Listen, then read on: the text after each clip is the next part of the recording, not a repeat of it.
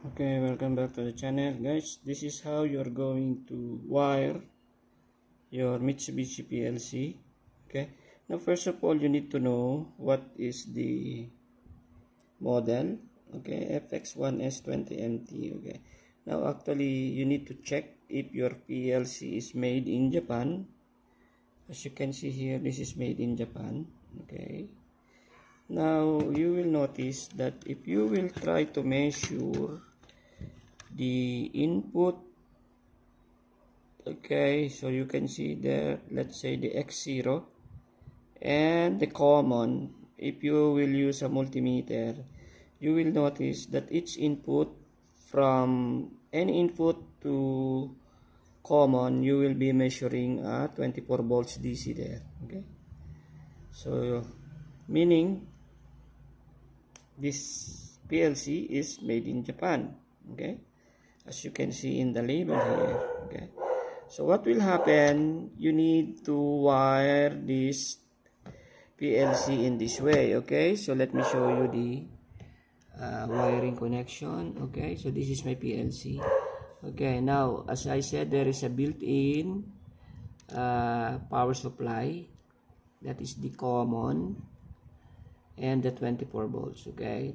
So what you will do here you need to trigger the inputs by the negative 24 volts or the common okay? As you can see my common I tried to wire it okay? Put it in common 0 common 1 common 2 and so on. For my outputs y0 y1 y2 and so on. And of course the negative 24 volts or the common will be used in triggering your inputs okay? So that like this one I I've shown you one push button switch. Let's say that is a start.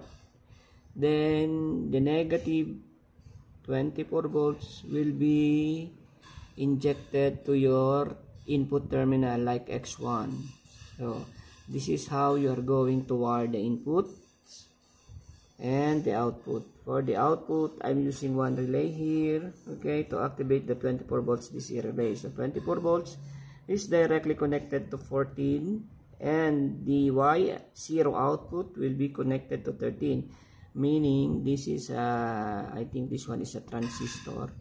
Let me check.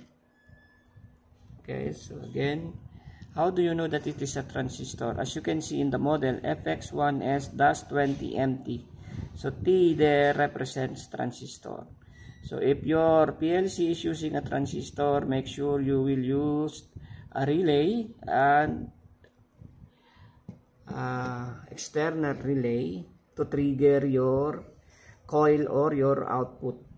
Maybe it's a lamp a motor so you need to use a 24 volts coil relay so that your PLC will be the one to uh, trigger the relay. Then the relay will turn on or switch on the connected load okay so once again the negative 24 volts or the common will be the one to trigger the input. So make sure uh,